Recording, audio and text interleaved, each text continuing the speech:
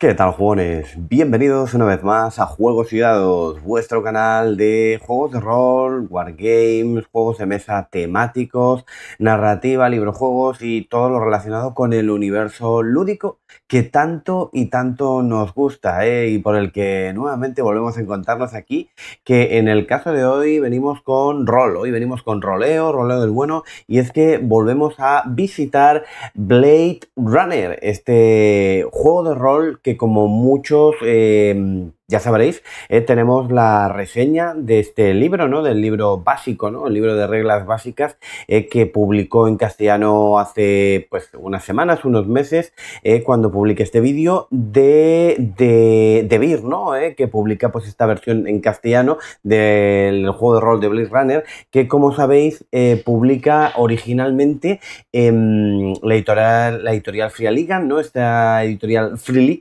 que sabéis que es una editorial pues que, bueno, tiene muy buen ojo eh, a la hora de publicar juegos y está haciendo algunos de los juegos, eh, algunas de las temáticas más míticas ¿no? de todos los tiempos y bueno, está licenciando cosas muy chulas, ¿no? Pues como puede ser Blade Runner o puede ser em, eh, Alien u otros juegos que, son también muy, muy conocidos ¿no? por, por, por esta editorial sueca.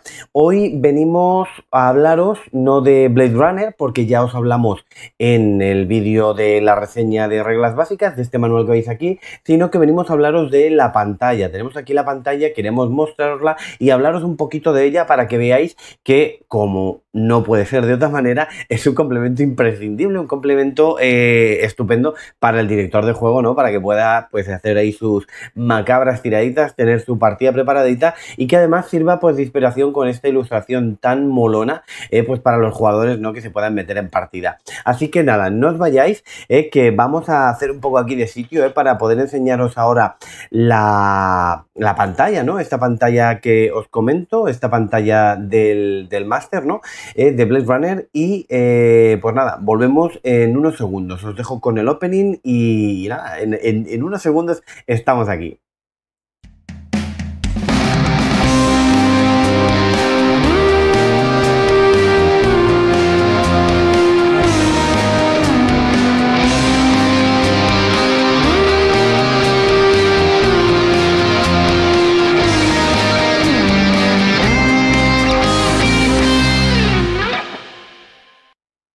Pues ya estamos aquí de vuelta, preparados para enseñaros la pantalla, eh, que la pantalla como siempre pues viene así, ¿no? Protegida, eh, pues con, con, un papelito en el cual pues desde fuera podemos ver qué es esto de que viene, ¿no? Porque viene precinta ETE, ¿no?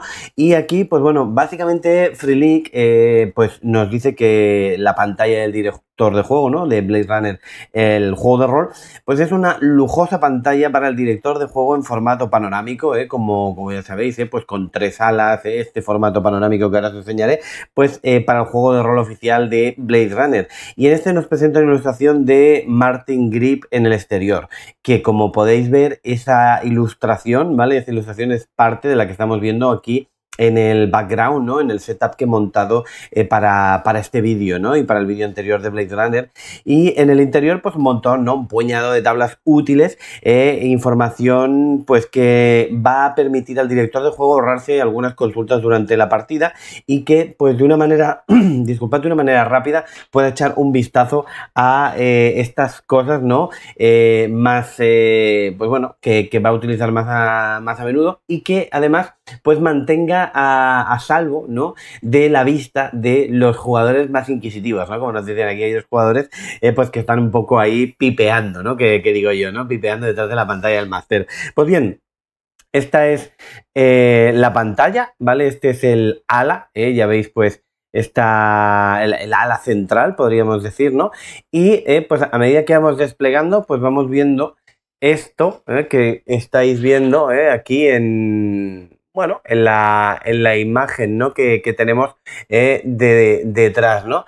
Y aquí, pues, veríamos esta otra, eh, perdonad, esta otra tercera ala. Ya veis que, eh, voy a echarme un poquito más para atrás, así, ¿vale? Ya veis que es una ilustración realmente, francamente, impresionante, es una ilustración muy evocadora de este, ¿no? Blade Runner en la ciudad, ¿no? Pues todo lleno de luces, tráfico, lloviendo, ¿no? Quizás ahí con los paraguas, una nave que está sobrevolando esta parte de la ciudad, mucha iluminación, mucho neón, ¿no? Y que prácticamente ciega, ¿no? Pues es una ilustración pues muy, como os digo, muy evocadora de lo que es esta... Mm, esta ambientación, ¿no? Y luego dentro, pues como no puede ser de otra manera, pues con este formato ¿eh? de tablitas ¿eh? que ahora os iré diciendo, ¿eh? desde aquí no las puedo decir todas porque no las veo correctamente, pero que ya vais intuyendo, ¿no? Muchos de vosotros, los que tengáis más,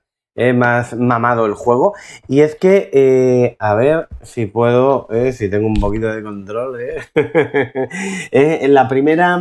Em, en la primera eh, ala eh, tenemos la calificación de atributos, no sé si recordáis, ¿no? Que tenemos unos niveles asociados mm, con letras, que son la letra A, B, C, D, y esas letras pues tienen asociados los dados eh, de 12, de 10, de 8 y de 6, con una magnitud del dado, ¿no? Como nos dice aquí, que la descripción es extraordinario, competente, corriente débil, pues esta tabla la tenemos aquí, ¿no? Pues con la calificación de atributos nos pone la página, nos hace una referencia a la página del libro básico, que es la 028, los niveles de habilidad, pues un poco lo mismo, ¿no? Pero con estos niveles en letra y los dados asociados y la descripción de élite, experimentado, novato, inexperto, eh, que van a, ligados ¿no? a la página, a la página 30. Eh, Luego tenemos las mejoras de habilidad, ¿no? Los, puntos que cuesta incrementar de B a C, hay de, perdón, de B a A, de C a B. ¿eh? Eh, las unidades de tiempo, también con una referencia a la página, pues con asalto de 5 a 10 segundos, pues principalmente para el combate, el ciclo que va de 5 a 10 horas, ¿no? Para la investigación. luego categorías de alcance, eh, pues tipos de alcance que tenemos, ¿no? Pues enfrentado, corto, medio, largo, extremo, estos alcances clásicos, ¿no? También un poco, pero que nos dice, pues a unos pocos metros, a unos 25 metros, hasta 100 metros, hasta un kilómetro, nos va diciendo un poco todo esto, ¿no? Acciones de combate, ¿qué acciones tenemos? ¿no? Pues rápidamente eh, tenemos acción, sprintar, requisito, de pie, habilidad, movilidad, ¿no? Eh, acción, arrastrarse, requisito, estar tumbado, ¿no? Em, pues todo, ¿no?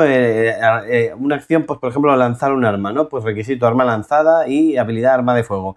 Pues todas las acciones de combate que hay, ¿no? Los factores de estrés, eh, que también es una cosa bastante, bastante interesante, ¿no? Eh, puedes recibir amenazas, eh, ver a un personaje amigo sufrir una herida, ver morir a un personaje amigo, ser interrogado, explosiones, ¿no? Magnitudes del estallido, ¿no? También ABCD, los dados que hace. Bueno, en la página central está muy bien porque tenemos los efectos del estrés, precisamente, ¿no? Del estrés crítico. recordad, ¿no? Esto que vamos a ir lanzando, ¿no? A medida que nos vaya aumentando el estrés y nos dice las páginas en las que están, pero ya en la tabla nos pone, pues si sacas un 2, lástima que ella no pueda vivir, ¿no? Te derrumbas a causa de la desesperación, ¿no? 4, dile que estoy comiendo, ¿no? Explotas contra un personaje amigo neutral que tengas cerca, ¿no? Pues cosas de este tipo, ¿no? Que, nos pasan eh, ligadas al estrés. Y ahora eh, vamos a la de peticiones de recursos del DPLA, ¿vale? Que es la página 163 y que son estas peticiones, la localización, el tiempo de entrega. Otra tabla que, que yo pienso que, bueno, pues va a ser útil, ¿no? Tener a mano. Y por último, en la última ala, tenemos las heridas críticas contundentes y las heridas críticas perforantes. Que esta yo pienso que es una de las que eh, eh, cuando hayáis eh, visto esto, ¿no? Así el vídeo rápidamente se ven estas dos, estas dos tablitas, ¿no? Por eso decía antes que enseguida muchos de vosotros habéis podido asociarla. Y eso es todo. Esta, esta pantalla, eso es esta pantalla de Blade Runner, el juego de rol, que como os digo, pues magníficamente nos trae el castellano de Vir. Es un juego que ya magníficamente publicado en origen la licencia por parte de Free Ligan, eh, por parte de, de, Free League, que son una editorial estupenda eh, y que, pues bueno, gracias a Debir, eh, que se suma al carro de este ¿eh? de este buen criterio y este buen hacer, pues tenemos en castellano el juego de rol de Blade Runner ¿eh? y que, hostia, es un, gran juego, como sabéis, ya os expliqué en el vídeo anterior, ¿eh? que la, ambientación original de la película en la que está ambientado, ¿no? pues la película de, de, Harrison Ford basada en el libro nos sitúa en el año 2019, así como hicieron con Alien en Blade Runner, hacen lo mismo, cogen todo el universo expandido, lo pillan todo y hacen una obra maestra de, pues, eh, las películas, eh, pues si hay cómics, libros, todo lo que hay de universo expandido y lo meten aquí, videojuegos, lo que sea, y hacen un año 2037 en el que el contexto, ¿no? Todo el panorama, todo el lore, ¿no? Como se dice ahora, ha cambiado, ¿vale? Y los replicantes pues ya no son perseguidos, bueno, hay otro rollo. Si queréis saber un poco más, iros a ver el vídeo ¿eh? que hice anterior del juego básico, que ahí hablo un poquito más profundo, eh, pues de todo el tema de la ambientación, ¿vale? Así que nada, el vídeo llega hasta aquí, espero que os haya gustado, recordad que cualquier comentario será más que bienvenido eh, y como siempre, pues si queréis suscribiros, pues seremos un poquito más felices. ahora sí, me despido, muchas gracias por vernos y hasta el siguiente vídeo.